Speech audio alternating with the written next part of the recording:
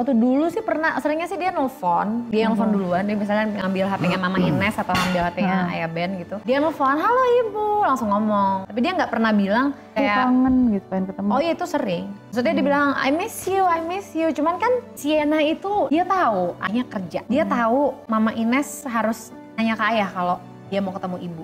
So komennya itu ada di ayah karena ayah punya banyak kepentingan lain dalam hidupnya dia selain Andriani Marsyanda yang walaupun saya kebetulan ibunya dari Sienna tapi kan saya udah mantan istrinya. Nah Sienna tuh paham bahwa aku nggak mau bikin orang tuaku yang mana pun nih, Mama Ines, mau Ben, mau ibu, khawatir lihat aku nggak bisa ngontrol perasaanku yang kangen. Jadi nggak pernah nunjukin kalau dia kayak gitu. Dia tuh juga perasaan orang lain banget sih. Makanya aku bilang ke dia kalau sama Iya, ibu kamu tumpahin iya. ya karena kamu menahan loh.